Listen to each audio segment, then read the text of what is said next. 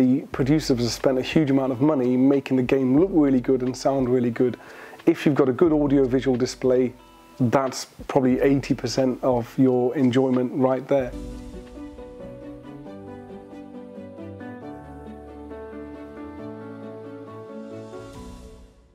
start off with the very basics, get a fantastic audio-visual display because the producers have spent a huge amount of money making the game look really good and sound really good.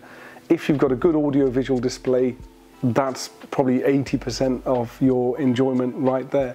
Then it's all to do with the ambience of the room. So, uh, you know, lighting moods, you can get really cool, funky, dimmable LED uh, just to um, uh, enhance your gaming experience. You can get sort of Philips Hue type situations where the um, ambience and the color of the room changes according to what's on the screen. Um, so you can use really cool lighting effects and cool designs within your room. And of course it depends how many rooms you're talking about. So if that's like a, a bedroom and, and you know you're the only person using it, everything's pretty much down to your taste and your lighting preferences.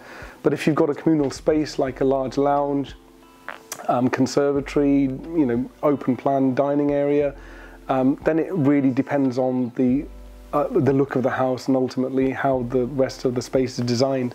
So always start off with a really good audio visual system and then you can work around it depending on the aesthetic of the rest of the home. Start off with a, a monitor and a sound bar and a subwoofer. I mean that's going to enhance your gaming from simply just watching it on the, the, the TV and using the TV speakers. It's going to be a lot better than that.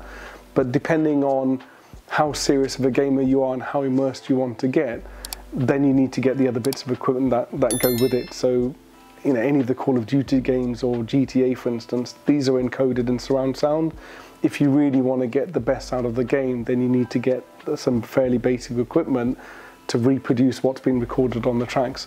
And again, you know, starter systems, probably talking three to four thousand pounds to begin with, um, and then it just goes up depending on the quality um, and how large the space is in your room. Um, it just goes without saying, the larger the room, uh, the more costly things become to get accurate sound reproduction that's enjoyable.